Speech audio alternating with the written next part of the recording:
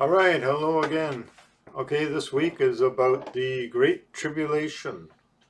Um, I could spend a lot of time on this topic.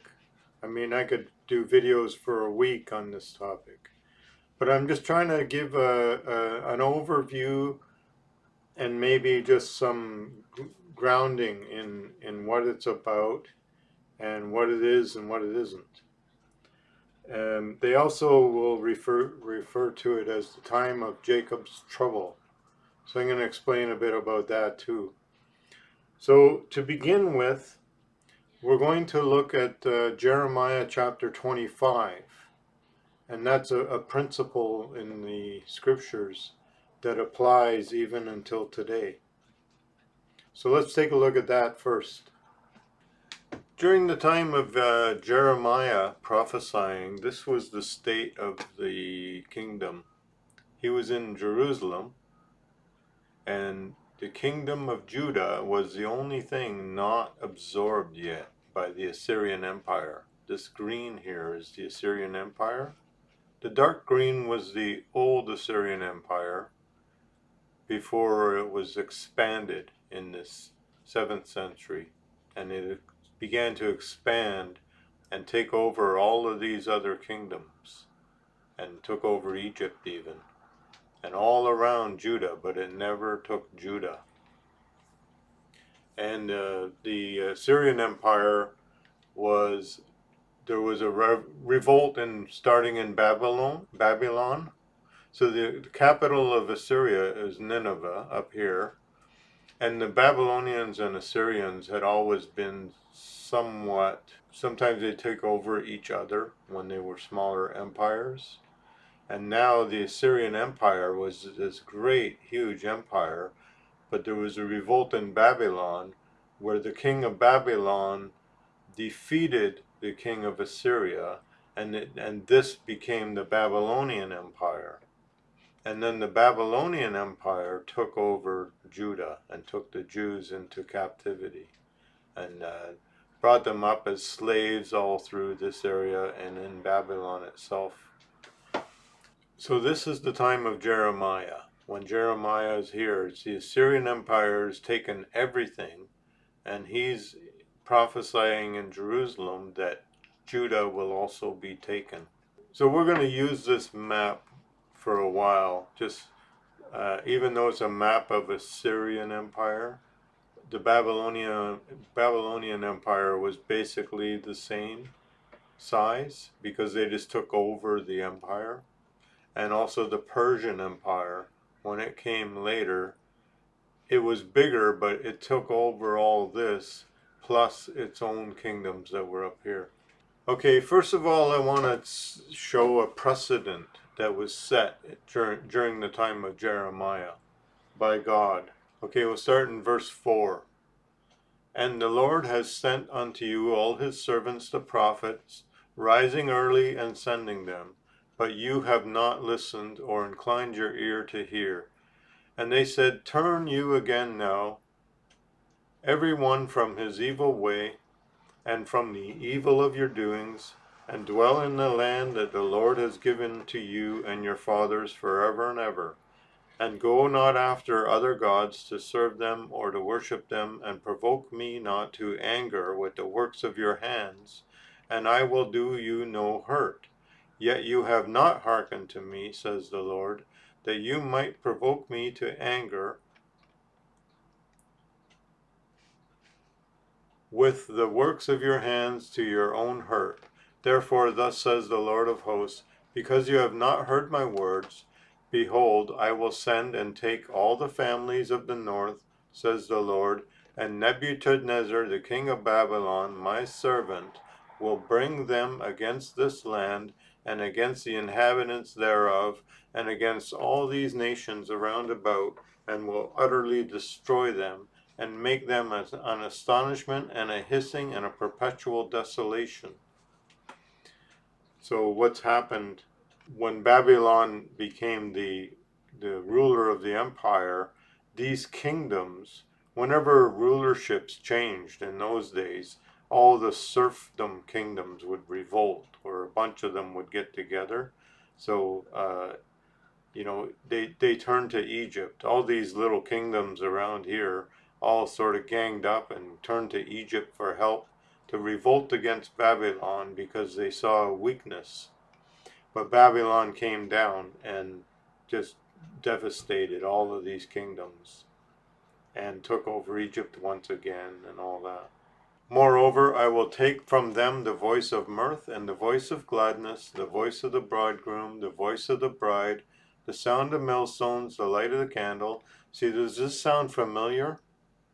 This is like the fall of Babylon in the book of Revelation. He talks this way.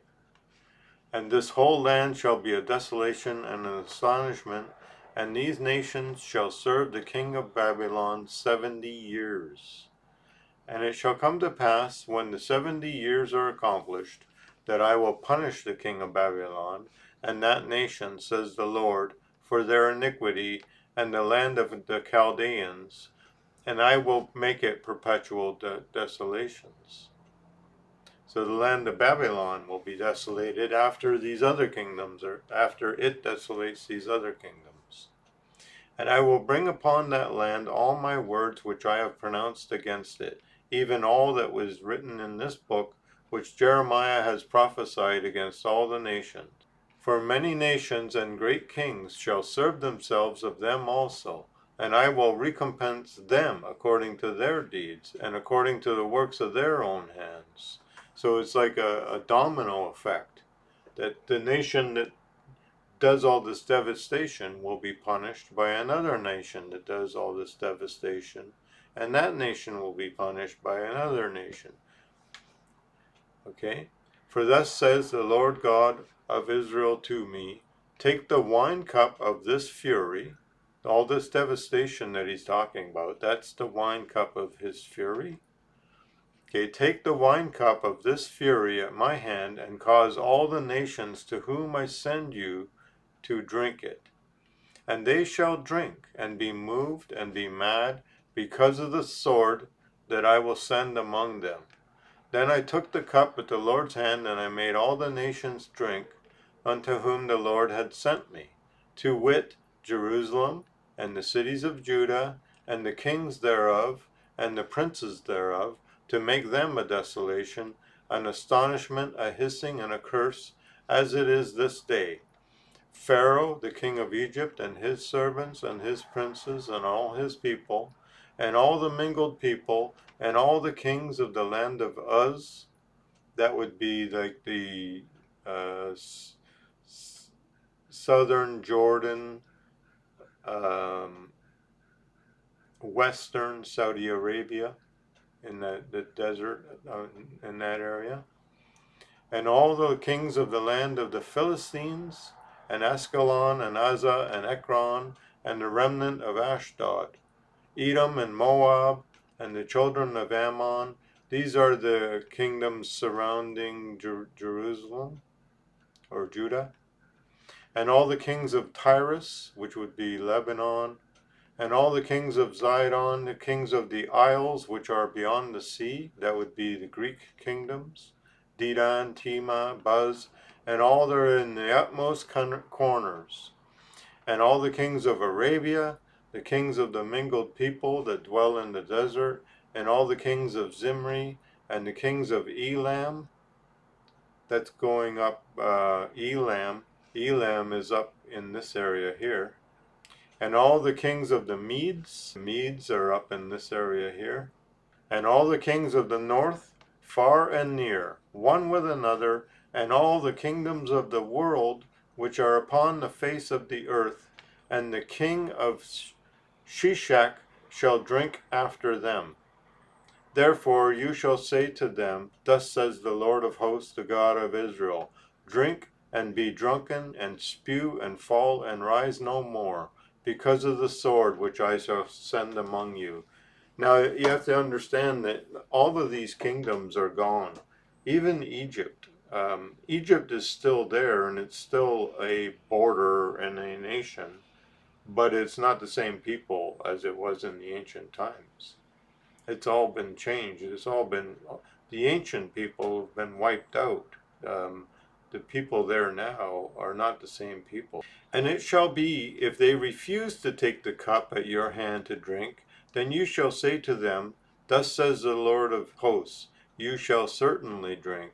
For lo, I begin to bring evil on the city which is called by my name, and should you be utterly unpunished? You shall not be unpunished. For I will call a sword upon all the inhabitants of the earth, says the Lord. Therefore prophesy you against them all these words, and say to them, The Lord shall roar from on high, and utter his voice from his holy habitation. He shall mightily roar upon his habitation, and he shall give a shout as they that tread the grapes. Now, isn't this interesting? That's from the book of Revelation also, that God is treading the winepress of his wrath, right? Against all the inhabitants of the earth.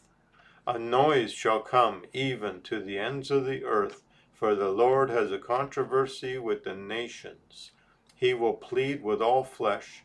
He will give them that are wicked to the sword, says the Lord. Thus says the Lord of hosts Behold, evil shall go forth from nation to nation. This is wars, right? And a great whirlwind shall be raised up from the coasts of the earth, and the slain of the Lord shall be at that day from one end of the earth to the other end of the earth. And they shall not be lamented, or gathered, or buried, they shall be dung upon the ground. Howl, you shepherds, and cry, and wallow yourselves in the ashes, you principal of the flock. For the days of your slaughter and of your dispersions are accomplished, and you shall fall like a pleasant vessel. And the shepherds shall have no way to flee, nor the principal of the flock to escape. A voice of the cry of the shepherds and a howling of the principal of the flock shall be heard, for the Lord has spoiled their pasture, and the peaceable habitations are cut down because of the fierce anger of the Lord. He has forsaken his covert as the lion, for their land is desolate, because of the fierceness of the oppressor and because of his fierce anger. So, this is a, a principle in prophecy that was first given here by Jeremiah, I think, that um, whatever happens to Israel, to God's people, will happen to all nations. So this is this is prophecy. It kind of plays out over and over, and and these things that have been determined are playing out in all the nations and have been and there is a final time in the end where it will be a global, this will play out on a global scale. And that has already happened, like in World War One and World War Two, but that's not really globally. That was only half the globe, or a third of the globe. Um, the the um, it never happened in America, in North America or South America and so there's going to be a final time when it's going to be a global thing. So as we have found out that the, the cup of wrath has been given to all nations. And uh, every nation has gone through this time of tribulation and time of troubles, and some nations have survived it and some have not. The next uh, scripture we want to look up now is Jeremiah chapter 30, and this is the one that has the phrase, the time of Jacob's trouble. So we're going to take a look at that and what that really means. So now this is the one where it talks about Jacob's trouble. Um, Jeremiah chapter 30. And the word that came to Jeremiah from the Lord, Thus speaks the Lord God of Israel, saying, Write thee all the words that I have spoken to thee in a book. For lo, the days come, says the Lord, that I will bring again the captivity of my people Israel and Judah, says the Lord, and I will cause them to return to the land that I gave to their fathers, and they shall possess it. And these are the words that the Lord spoke concerning Israel and concerning Judah. For thus says the Lord, We have heard a voice of trembling and of fear, and not of peace. Ask you now, and see whether a man does travail with child. Now, this is interesting. You mean they had this issue even in ancient times? Ask and see can a man have a baby? Wherefore do I see every man with his hands on his loins as a woman in childbirth. So this is the judgment coming. And all faces are turned into paleness. Alas, for that day is great, so none is like it. It is even the time of Jacob's trouble. It's a great, great day, right? But he shall be saved out of it, Jacob.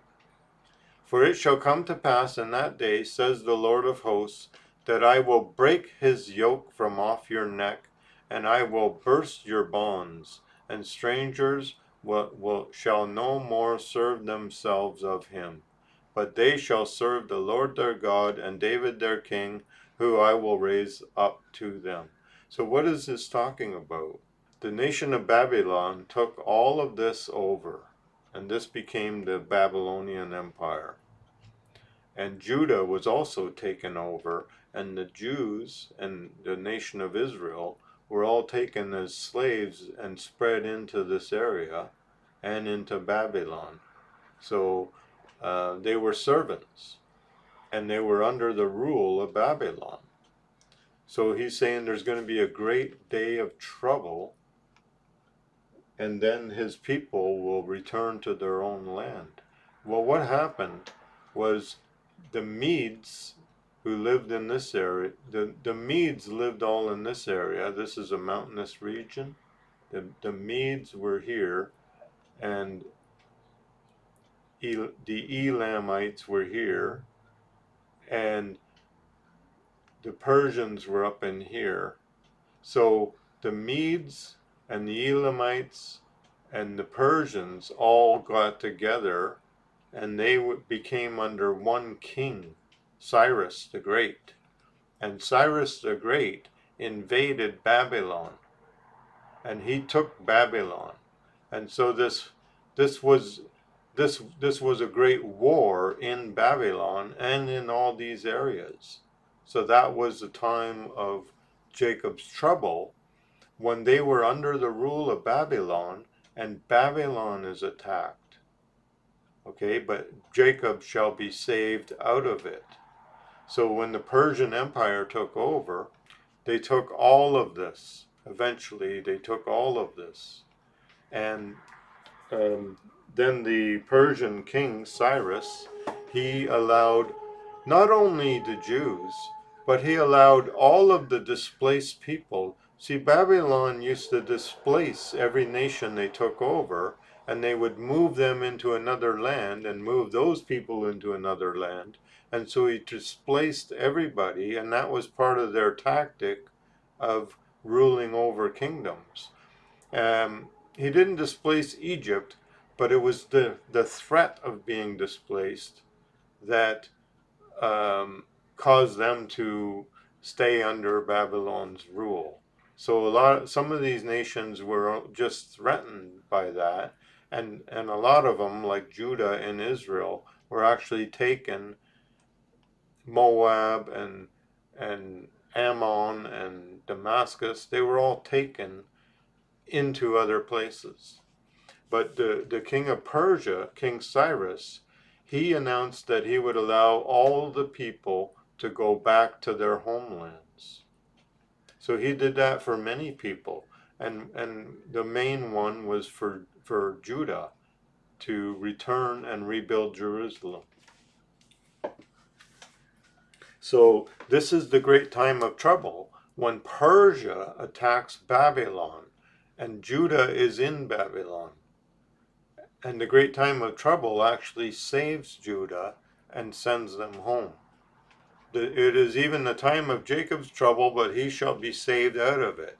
For it shall come to pass in that day, says the Lord of hosts, that I will break his yoke from off your neck. Babylon's yoke.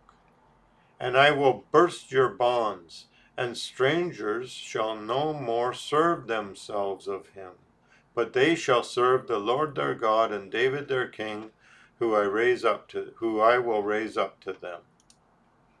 So who's David their king? That's Jesus, because this is long after the time of King David. But this is talk this is a messianic prophecy. They will serve David their king, who I will raise up to them. Therefore fear not, O my servant Jacob, says the Lord, neither be dismayed, O Israel, for lo, I will save thee from afar, and your seed from the land of their captivity, and Jacob shall return, and shall be in rest and be in quiet, and none shall make him afraid. For I am with thee, says the Lord, to save thee, though I make a full end of all nations where I have scattered thee. Yet I will not make a full end of you. I will correct you in measure, and I will not leave you altogether unpunished. So this is like also true for the Christians. This is how God works, okay? For thus says the Lord, Your bruise is incurable, and your wound is grievous. There is none to plead your cause, that you may be bound up. You have no healing medicines. All your lovers have, have forgotten you. They do not seek you, for I have wounded you with the wound of an enemy, with the chastisement of a cruel one, for the multitude of your iniquities, because your sins were increased. Why do you cry for your affliction? Your sorrow is incurable for the multitude of your iniquity, because your sins were increased. I have done these things to you. Therefore, all they that devour you shall be devoured, and all your adversaries, every one of them, shall go into captivity, and you, they that spoil you shall be a spoil, and all that prey upon you I will give for a prey. For I will restore health to you, and I will heal you of your wounds, said the Lord, because they called you an outcast, saying, This is Zion, whom no man seeks after. Right? It's like Christians. They hate Christians too, right? And they call Christians, uh, you know, it's just a religion that's going to end, and the sooner the better, you know. For thus says the Lord, I will bring again the captivity of Jacob's tents, and have mercy on his dwelling places, and the city shall be builded upon her own heap, and the palace shall remain after the manner thereof. And out of them shall proceed thanksgiving and the voice of them that make merry, and I will multiply them, and they shall not be few, and I will glorify them, and they shall not be small. Their children also shall be as before time, and their congregation shall be established before me, and I will punish all that oppress them. So God allows the oppressor to come and then he punishes the, the oppressor. And that is the time of great trouble. And their, norm, their nobles shall be of themselves, and their governor shall proceed from the midst of them, and I will cause him to draw near, and he shall approach to me. For who is this that engaged his heart to approach to me, says the Lord? And you shall be my people, and I will be your God. Behold, the whirlwind of the Lord goes forth with fury, a continuing whirlwind, and it shall fall with pain upon the head of the wicked. The fierce anger of the Lord shall not return until he has done it, until he has performed the intents of his heart. In the latter days you shall consider it. So, hopefully, that gives us a better understanding here of the time of Jacob's trouble. Jacob is up here. He's in Babylon in captivity. Okay, here's a map of the Persian Empire, okay? They took over all of this was King Cyrus's kingdom and he moved in, took Babylon. And then he moved or actually all of this and he moved in and took Babylon. Boom. Took all of this, took all of that, took all of that. Down here, took Egypt, Libya. So it was huge, huge empire. And there's Jerusalem. And he allowed the Jews to come back and rebuild Jerusalem. Not, I wouldn't say the Jews. Jews are the people of Judea, not the people of Judah per se. It's the people of Judea, and there are uh, a few, actually a few tribes. There's the Levites, Simeon, Benjamin, Judah, and maybe even a few more that are that are called Jews. And they came and they were just a small tribe here, just very small kingdom and and then later on under the Maccabees they became much larger again. It took uh, about uh, what 600 years before they became that large kingdom again. Okay, now Daniel chapter 12 also talks about the great tribulation. So we'll take a quick look at that just for reference purposes. Let's take a look at Daniel chapter 12. This is sort of the, the culmination at the end times. At that time, Michael shall stand up, the great prince which stands for the children of your people. Michael means who is like God. And there shall be a time of trouble, such as never was since there was a nation, even to that same time. Now Daniel is in the kingdom of Persia. When when uh, when Persia took over Babylon, right here, Daniel was in Babylon. He was uh, one of the chief um, advisors to the king in Babylon. So when Persia took over Babylon, Daniel became an advisor to the Persian king. And then he was moved over here to Susa. That was uh, sort of the capital of the Persian Empire or one of the capitals. Uh, they had a few capitals, but this was one of their central capitals, Susa. Daniel was there when he was receiving this prophecy. So he never went back to Jerusalem because he was such a high ranking official, he couldn't. He didn't have the opportunity. But um, he was given these great prophecies. So there will be this time of trouble at the end such as never was since there was a nation, even to that time. And at that time your people shall be delivered, every one that shall be found written in the book. Okay, so he's given Daniel a, a more great, greatly expanded version of what has just happened. Because Daniel, he's he's living at a time where his people are going back to Jerusalem. And many of them that sleep in the dust of the earth shall awake, some to everlasting life, and some to shame and everlasting contempt. So this is uh, uh, what happens next will be the second coming of Christ, and the resurrection of the dead, and the great judgment. And they that be wise shall shine as the brightness of the firmament. And they that turn many to righteousness as the stars forever and ever. So there's going to be a great awakening also. But, O Daniel, shut up the words and seal the book even to the time of the end. Many shall run to and fro, like we do. If you watch people today, they're going back and forth, back and forth in their cars, and knowledge shall be increased as it is today.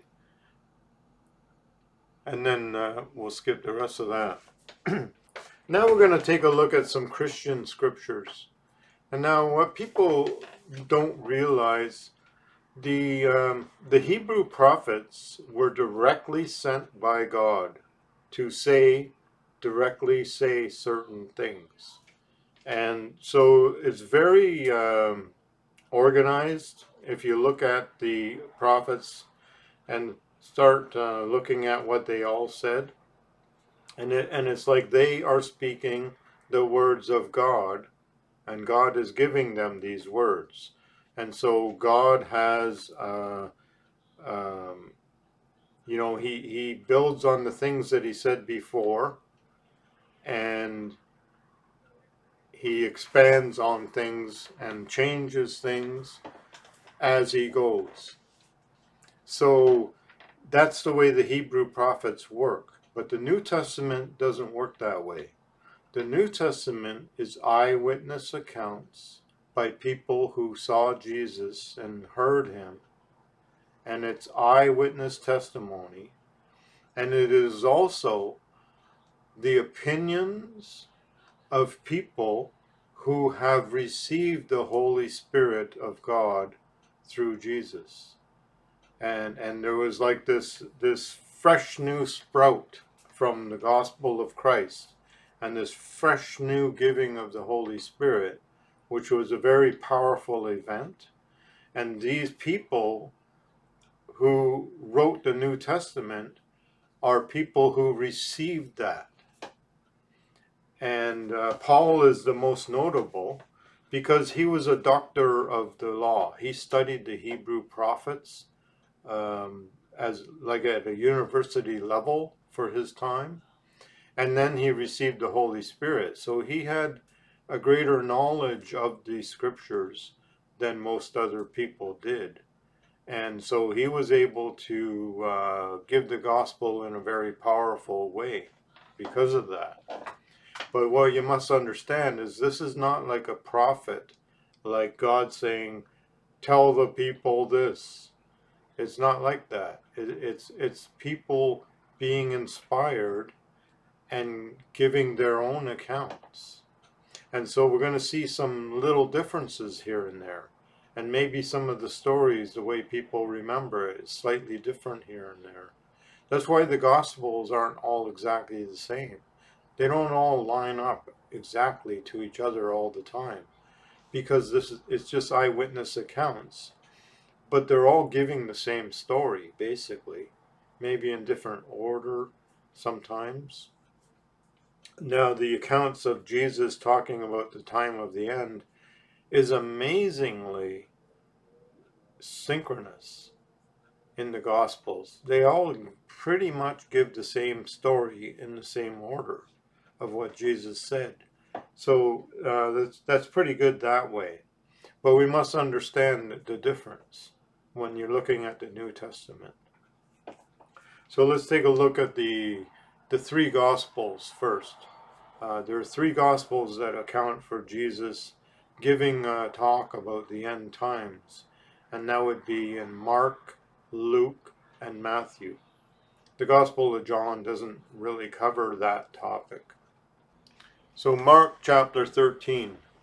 As he went out of the temple, one of his disciples said to him, Master, see what manner of stones and what buildings are here. And Jesus answering said to him, See thou these great buildings, there shall not be left one stone upon another shall, that shall not be thrown down. He's talking about the destruction of Jerusalem by the Romans. And as he sat upon the Mount of Olives over against the temple, Peter and James and John and Andrew asked him privately, Tell us, when shall these things be? And what shall be the sign when all these things shall be fulfilled? And Jesus answering them began to say, Take heed, lest any man deceives you. For many shall come in my name, saying, I am Christ, and shall deceive many. So, okay, there's going to be a great deception coming.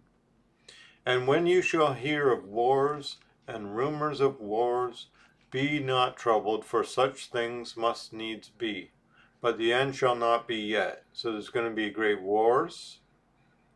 Nation shall rise against nation, kingdom against kingdom, and there shall be earthquakes in diverse places, which there are. And there shall be famines and troubles. Yep, there's famines. There's Ethiopia. Um, there's always famines happening. These are the beginnings of sorrows. But take heed to yourselves for they shall deliver you up to councils, and in the synagogues you shall be beaten, and you shall be brought before rulers and kings for my sake, and for a testimony against them. So that happened with the apostles. It also happened uh, with the Christians in Roman times, all the way up into the Middle Ages, during the Middle Ages, after the Middle Ages. It still happens in some parts of the world today. Uh, like in Saudi Arabia, you are not allowed to preach the gospel. In China, there's no way you're not allowed to preach the gospel in China. Uh, there's a lot of places, some parts of India, they you'll you'll have the uh, authorities down on your neck if you preach the gospel. And the gospel must first be published among all nations. But when they shall lead you and deliver you up, take no thought what you shall speak, neither premeditate, but whatever shall be given to you in that hour, that you will speak. For it is not you that speaks, but the Holy Ghost. Now brother shall be betray the brother to death, father and son and children shall rise up against their parents and shall cause them to be put to death. Everyone's going to be turning each other in. And this happened under communism in World War II.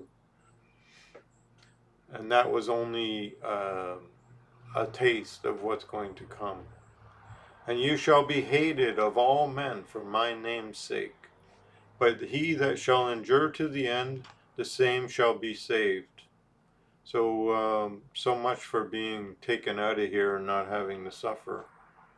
But when, you, but when you shall see the abomination of desolation, spoken by Daniel the prophet, standing where it ought not, let him that reads understand. Then let them that be in Judea flee to the mountains, and let him that is on the housetop not go down into his house, neither enter therein to take anything out of his house. And let him that is in the field turn not back again to take up his garment. But woe to them that are with child and to them that give suck in those days. And pray you that your flight be not in the winter. For in those days shall be affliction, such as was not from the beginning of the creation which God created unto this time, neither shall be. So that's the great tribulation. And except the Lord shorten those days, no flesh should be saved. But for the elect's sake, whom he has chosen, he has shortened the days. And then, if any man will say to you, Lo, here is the Christ, or he is there, believe them not. For false Christs and false prophets shall arise, and they shall show signs and wonders to seduce, if it were possible, even the elect. But take heed. Behold, I have foretold you all things. But in those days, after that tribulation, the sun shall be darkened, and the moon shall not give her light, and the stars of heaven shall fall, and the powers that are in the heaven shall be shaken. Then shall they see the Son of Man coming in the clouds with great power and glory. Then he shall send his angels, and shall gather together his elect from the four winds, from the uttermost parts of the earth to the uttermost parts of heaven. So it's sort of like when Babylon fell, the fall of Babylon. Babylon the Great in Revelation falls. And this is a time of great upheaval and and um, great tribulation for people because uh, when these kingdoms fall, they're going to blame the Christians and they go after the Christians and the Jews.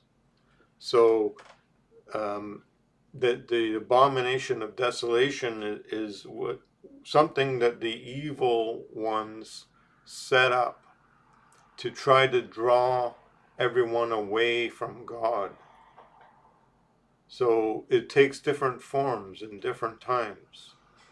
But that's what it will be. It will just be something set up to draw everyone away from the truth. And those who do not follow that will be persecuted. So that's the time of great tribulation. Okay, and then God will punish them for what they did to his people. So now he says, okay, learn the parable of the fig tree.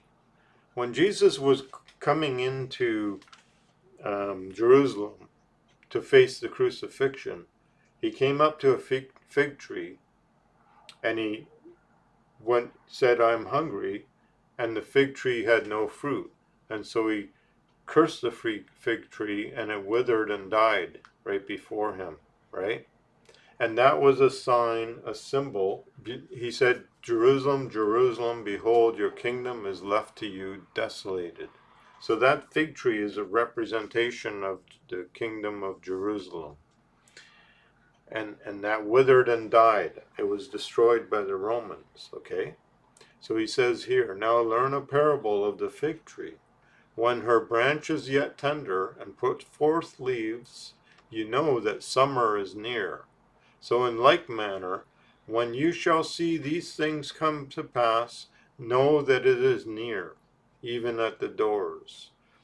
So um, that's why people will say well the Jew, the Jewish nation reviving in Israel is like the fig tree putting forth leaves in the springtime, and you know that the summer is near.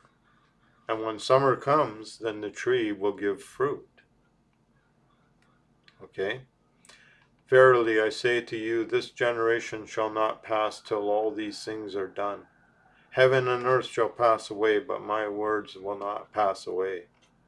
That day or hour no man knows, not the angels which are in heaven, or the Son, only the Father knows. Take heed, watch and pray, for you do not know when the time is.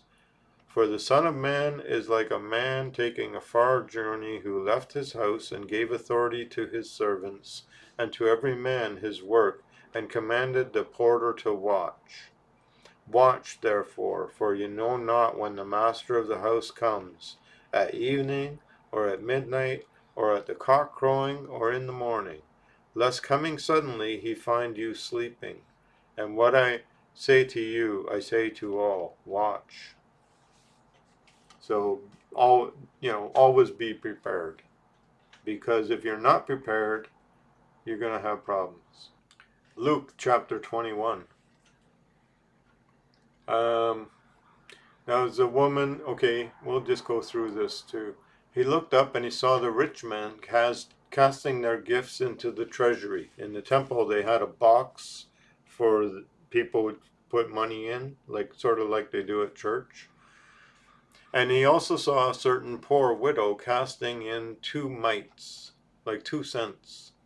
And he said, Of a truth I say to you, this poor widow has cast in more than they all.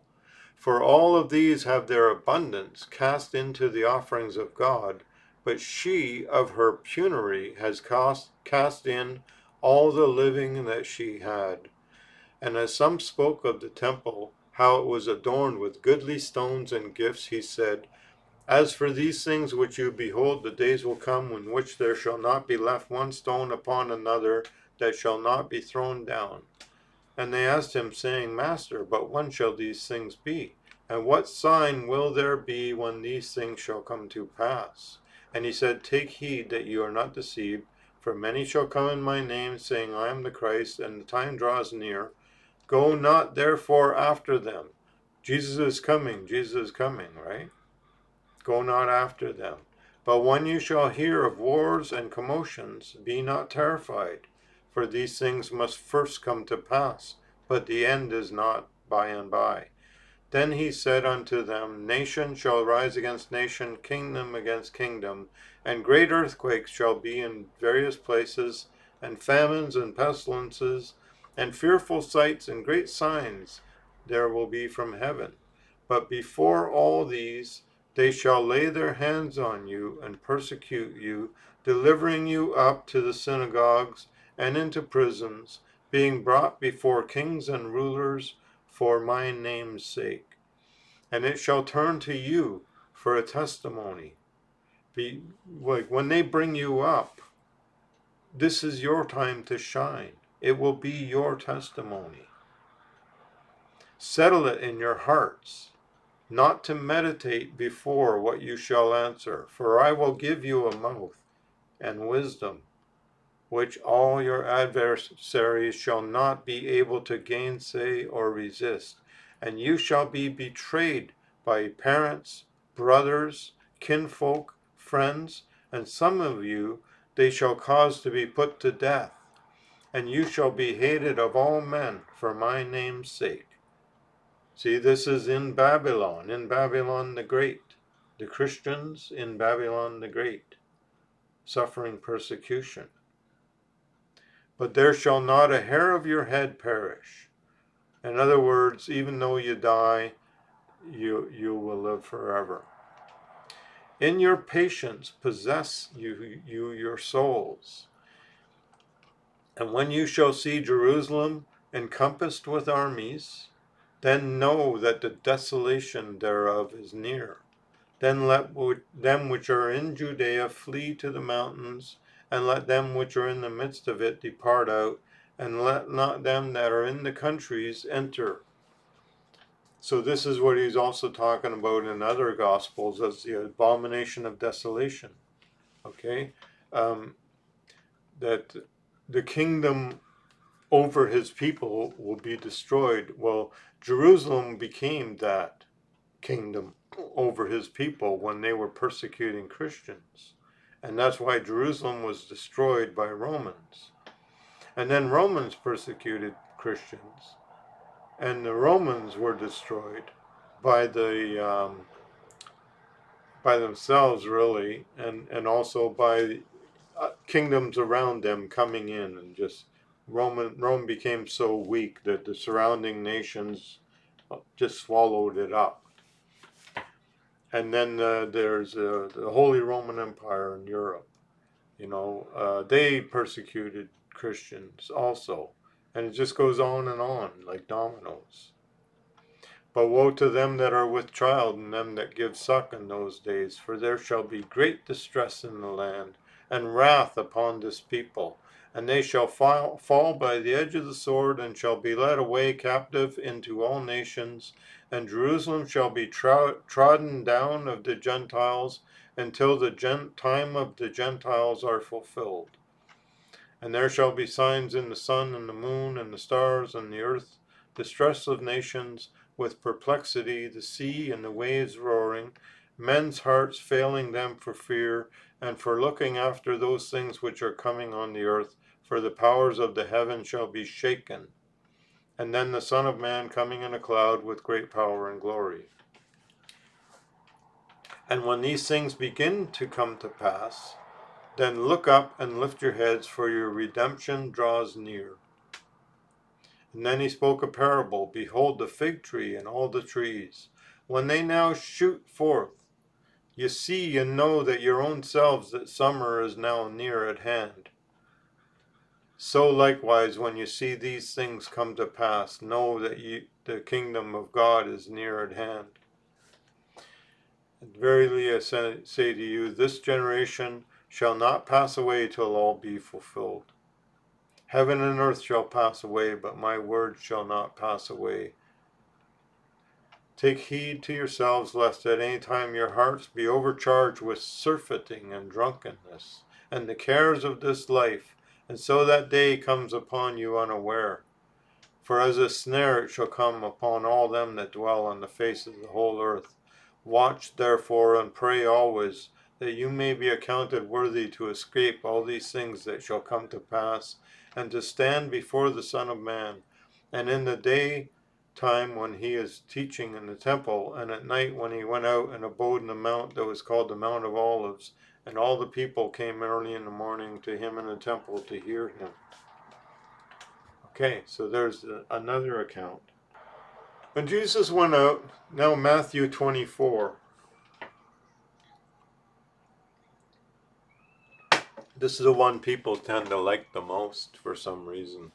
I guess because it expands a little bit more, maybe.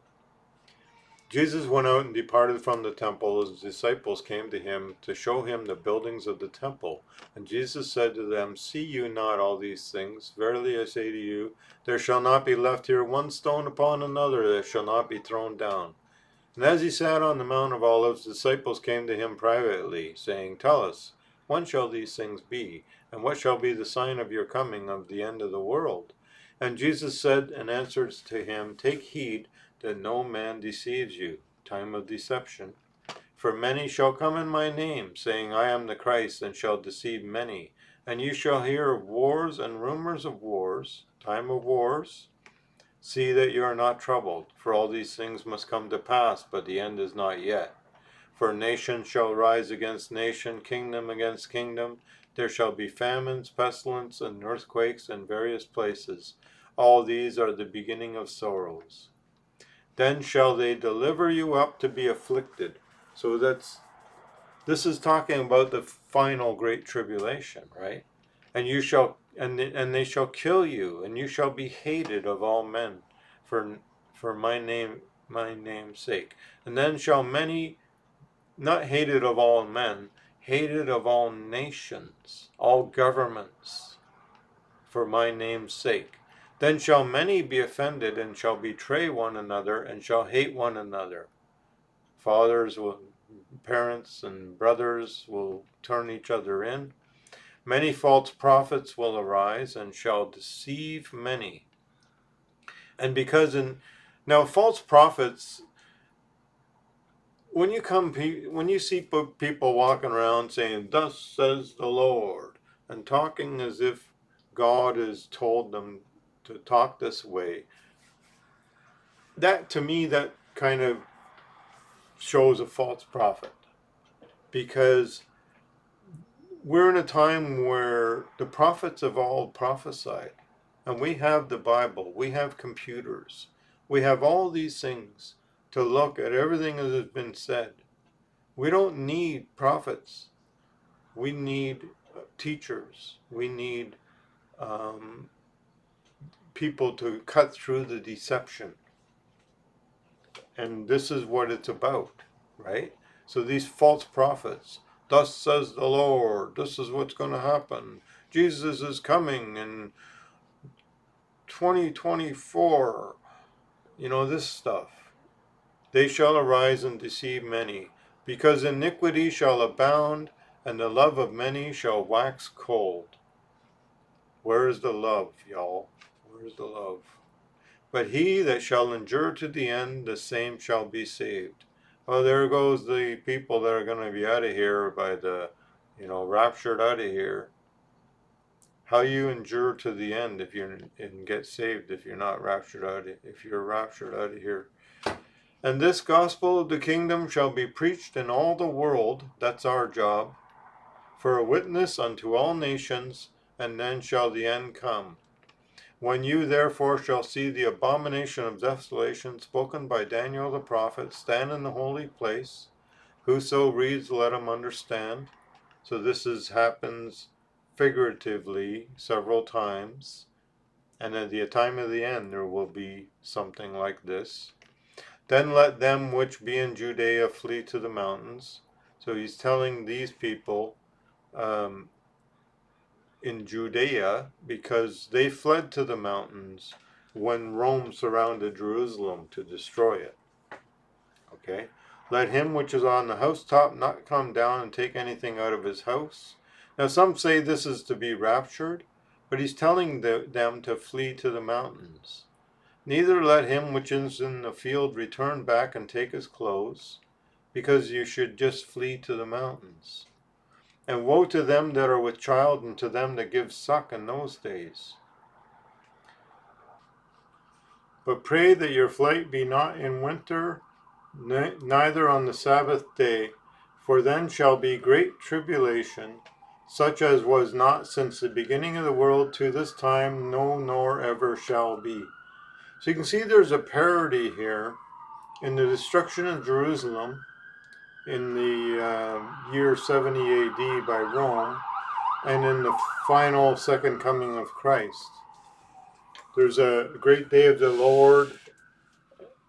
Then there's a great day of the Lord in the destruction of the first temple and the great day of the Lord in the final second coming. So there's also the, the tribulations and except those days should be shortened, there should no flesh be saved, but for the elect's sake those days shall be shortened. Then if any man say to you, Lo, here is a Christ, or there, believe it not. For there shall arise false Christs and false prophets, and shall show great signs and wonders, insomuch that if it were possible, they shall deceive the very elect. So, who are teaching the elect? If the elect are not, if if the people are not to listen to these false prophets, false Christs, and everything else, who are the elect learning from? They're learning from the Holy Spirit. They're reading the Bible themselves. They're learning from God. They are living a life of uh, under the stewardship of God and praying for uh, um, understanding of His Word, and they're teaching others, but those others that learn, they should also study, start to study, because there's so much deception. When you study yourself, you're going to be able to uh, see through a lot of that deception. So, behold, I told you before, Wherefore, if they shall say to you, Behold, he's in the desert, go not forth. Behold, he's in the secret chambers, believe it not. Oh, there's Jesus down in South America. No, believe it not.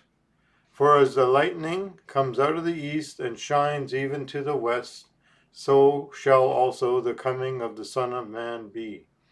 Now, lightning doesn't come out of the east and shine to the west. I, the sun does that. So I think it's more about for as the light comes out of the east and shines to the west, so shall the Son of Man be, right? For, for it'll be everywhere in the earth. For whoever, for wheresoever the carcass is, there will be the eagles gathered together. And that's about power, right? That's about um, certain people or entities are in Christianity to be in power. And, and I, I wouldn't say all of them, but um, wherever the carcass is, there will be the eagles gathered. Immediately after the tribulation of those days, the sun will be darkened, the moon will not give her light, the stars shall fall from heaven, and the powers of the heavens shall be shaken. Then shall appear the sign of the Son of Man in heaven. So this is immediately after the tribulation. And then shall all the tribes of the earth mourn, and they shall see the Son of Man coming in the clouds of heaven with power and great glory. And he shall send his angels after the tribulation with a great sound of a trumpet, and they, the last trump, and they shall gather together his elect from the four winds from one end of heaven to the other. Now learn a parable of the fig tree. When his branch is yet tender and put forth leaves, you know that summer is near. So likewise, when you shall see all these things, know it is near, even at the doors. Verily I say to you, this generation shall not pass till all these things are fulfilled. Heaven and earth shall pass away, but my word shall not pass away. But of that day and hour no man knows no, not the angels of heaven, but my Father only. But as the days of Noah were, so shall also the coming of the Son of Man be. For as in the days of that were before the flood, they were eating, drinking, marrying, and giving in marriage, until that Noah entered the ark. And they knew not the flood until the flood came. So everybody will be like, that's it's not going to rain. It's not going to rain. Look at him, crazy man, building the ark. And that's the way it'll be right up until it rains. And he took them all away, so shall also the coming of the Son of Man be. Then shall be two in the field. Okay, this is when the, second coming. One shall be taken, and the other one left. Two women shall be grinding at the mill. One shall be taken, and the other one left. Because he's get, they're gathering the elect. Okay? So it's going to be like you're going to be seeing, people are going to see this happen. Watch therefore, for you know not what hour your Lord comes. But know this if the good man of the house had known in what watch the thief would come, he would have watched, and he would not have suffered his house to be broken up. Therefore be you also ready, for in such an hour as you think not, the Son of Man comes. Who then is a faithful and wise servant, whom his Lord has made ruler over his household, to give them meat in due season? Feed my sheep, right? Blessed is that servant whom his Lord, when he comes, shall find him so doing. Verily I say to you that he shall make him a ruler over all his goods. The thousand year rule of the uh, people of Jesus over the earth. But if that evil servant shall say in his heart, My Lord delays his coming, oh, he's, he's not going to be here for a long time then he shall begin to smite his fellow servants, and to eat and drink with the drunken. That Lord of that servant shall come in a day where he looks not for him, and in an hour he is not aware of, and shall cut him asunder, cut him in two, and appoint him his portion with the hypocrites. So I think is he shall make him a hypocrite, because he's divided in his loyalties, right? There shall be the weeping and gnashing of teeth. So now that we've seen that, we'll also take a look at the book of Revelation. Now the Revelation is a bit special because it is a prophecy like the Hebrew prophets. And it was given to John, the apostle, and it is a prophecy. But it's, uh, it's a very um, um, is set up in a certain order that it, it sort of comes around and around and around to the same story. And um, we'll cover that someday. Um, I'm doing some training right now. I, I feel better about it after I'm done the training to start covering the Revelation in any detail. But we're going to take a look at a few parts of the Revelation that talk about the great tribulation in the end times. Now, the great tribulation is the, the day of the Lord has happened several times already. Like the day that Jerusalem, the first temple was destroyed, that was the great day of the Lord. The day the second temple was destroyed, that was the great day of the Lord. And this final destruction of Babylon near in the end, Babylon the Great, that's also a great day of the Lord. And there was probably a few other great days of the Lord's. Like in medieval times, there was probably something like that. And, and um, maybe at other times. And in other nations, it's because of the cup of reeling brings a great day of the Lord to in different ways to different nations. But we're looking for you know, the great day now is a global day of the Lord. That's what we're looking at now. And that will bring the second coming of Christ. That is the final global destruction. So let's take a look at the Revelation. Okay, this is Revelation chapter 13. And this is a, uh, we're going to talk a little bit about the second beast. And I beheld now, a beast is a kingdom. Okay? And I beheld another beast coming up out of the earth. So this comes out of the earth, not the sea. And he had two horns like a lamb. And he spoke as a dragon. And I think this is the USA beast. Because it comes up out of the earth. So it's like it didn't it didn't come out of the people, it came out of the earth which is like the discovery of the new world. And he had two horns. So there's like two political parties. And is like a lamb. He's a Christian nation. But he speaks as a dragon. He starts to speak like a dragon, like a like the other beast. And he exercises all the power of the first beast before him. Okay, what's a like Roman law uh, the British bar for lawyers. Um, it takes on a lot of the um, attributes of the first beast.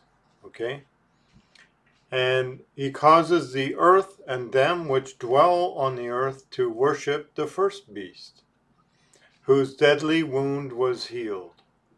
So, what is the first beast whose deadly wound was healed? Well, you could take a look at uh, the Holy Roman Empire. Now, their deadly wound was that um, people started reading the Bible and publishing the Bible, and they fought against it a lot. And and the Roman um, Church almost fell because of that. That's why there's Vatican II. Vatican II was a, a, re, a, a revival attempt by the Roman Church, and it kind of worked because they started to uh, do the mass in, in their own language of each country instead of always in Latin, and they um, revived their, their, you know, revived their doctrines a bit, and it helped them to survive. And there's also the uh, Nazi Germany. Uh, that um, was a, a world dominating power. And how was that healed? Well, after Berlin fell, the Nazis didn't all die. They, um, a lot of their uh, chief officers were taken to the United States and to Russia, and some to Argentina. They were they were fought over because of their knowledge and and their abilities. Um, the scientists and the doctors, the doctors who experimented on humans, by the way, and um, they were taken by the Russians and the Americans. So there could be something like that in the in the intelligence communities that that was healed and continued on. Um, things like that. So his deadly wound was healed, and he does great wonders. So he makes fire come down from heaven on the earth in the sight of men. Well, nuclear bombs, right? And and even just you know bombing the shit out of Iraq and Libya and um, Afghanistan and and you know they're just uh, they're good at bombing things and the whole world watches it on TV right and he deceives them that dwell on the earth by the means of those miracles which he had the power to do in the sight of the beast saying to them that dwell on the earth that they should make an image to the beast which had the wound by a sword and lived the first beast, right? And he had power to give life to the image of the beast. Well, you got Hollywood that can do that, power to the life to the image. But I think it's going to be more than that. I think it's AI is I think is going to be the final apex of this image of the beast. Um, and this speaking image, this living image, right? And it should both speak and cause as many as would not worship the image of the beast should be killed. And it causes all, both small and great, rich and poor, free and bond, to receive a mark in their right hand or in their forehead, that no man might buy or sell. So there's your, your credit cards and your commerce, your digital money. Save he has the mark or the name of the beast, or the number of his name. And here is wisdom. Let him, him that has understanding count the number of the beast. Is the number of a man, his number is 666. So there's that, okay? That's the image, the mark of the beast. Now, the reason I wanted to look at that, to prepare us for this one, Revelation chapter 20. because we're going to talk about the Great Tribulation, right? And I saw an angel come down from heaven having the key of the bottomless pit and a great chain in his hand, and he laid hold on the dragon, that old serpent, which is the devil and Satan, and bound him a thousand years, and cast him into the bottomless pit, and shut him up, and set a seal upon him, that he should deceive the nations no more, till the thousand years should be fulfilled. And after that, he must be loosed a little season. So after the thousand years, or what they call the millennium, he'll be loosed out again to deceive the nations. And I saw thrones, and they that sat upon them, and judgment was given to them. And I saw the souls of them that were beheaded for the witness of Jesus and for the word of God, which had not worshipped the beast or his image, and neither had received his mark on their foreheads or in their hands, and they lived and reigned with Christ a thousand years. So here's the elect, right? But the rest of the dead lived not again. So there's these these these these people these people who stood up against the beast and were killed by the beast and his mark and his image, they are the elect that are raised in the first resurrection, and they are given eternal life to reign a thousand years with Christ. The rest of the dead are resurrected at the end of the thousand years. So this is the first resurrection. Blessed and holy is he that has part in the first resurrection. On such the second death has no power, because they have eternal life. They're not going to die. But they shall be priests of God and Christ and shall reign with him a thousand years. And when the thousand years are over, Satan shall be loosed out of his prison, and there will be the second resurrection. Right? And all the people who did not were not in the first resurrection will be resurrected in this. And they will have a, a, a chance to stand against Satan again because Satan is going to deceive the nations once again. He shall go out and deceive the nations which are in the four quarters of the earth, and this is the Gog and Magog war um, described in Ezekiel, to gather them together to battle, the number of whom is as the sand of the sea. The sand of the sea, that's uh, what Abraham was told. Your children will be as the sand of the sea. Okay, so that concludes our video for today. I hope you enjoyed it. Don't forget to like, hit the like button, share, subscribe, comment on the video. Tell me what you think of it. Um, maybe what you think of certain parts of it. Uh, and I'll see you next week. Thank you.